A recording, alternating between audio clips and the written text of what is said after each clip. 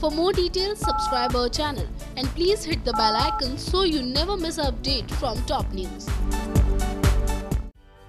बॉलीवुड के उभरते सितारों में से एक बन चुके एक्टर कार्तिक आर्यन को हाल ही में जुहू जिम के बाहर स्पॉट किया गया। साथ ही बता देते हैं कि इस दौरान पपराजी उन्हें स्पॉट करने के लिए रेडी खड़ी थी, लेकिन साथ ही रेडी थे कार्तिक के वो फैंस जो उनके साथ एक फ़ोटो क्लिक करवाने के लिए बहुत ही ज़्यादा एक्साइटेड थे। बता देते हैं कि इसी दौरान तमाम लोग आए, लेकिन कार्तिक आर्यन ने एक को भी खाली हाथ नहीं लौटने दिया। वेलियस आजकल जब सेलेब सेल्फी तो क्या मीडिया तक को पोस्ट देना ज़रूरी नहीं समझते हैं, ऐसे में कार्तिक ने बाकायदा वहाँ मौजूद हर फ़ैन के साथ पिक क्लिक करवाई। यहाँ तक की एंड टू एंड जाकर जब एक शख्स यानी कि एक फ़ैन उनके कार में बैठे तक कोई फ़ोटो खिंचवाने के लिए आ रहा था उस टाइम भी कार्तिक ने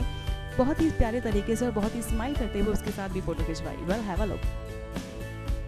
तो बने रहिए हमारे साथ बॉलीवुड से जुड़ी हुई तमाम बड़ी अपडेट्स को जानने के लिए और सब्सक्राइब कीजिए हमारा channel top news just for you top news से आस्था की report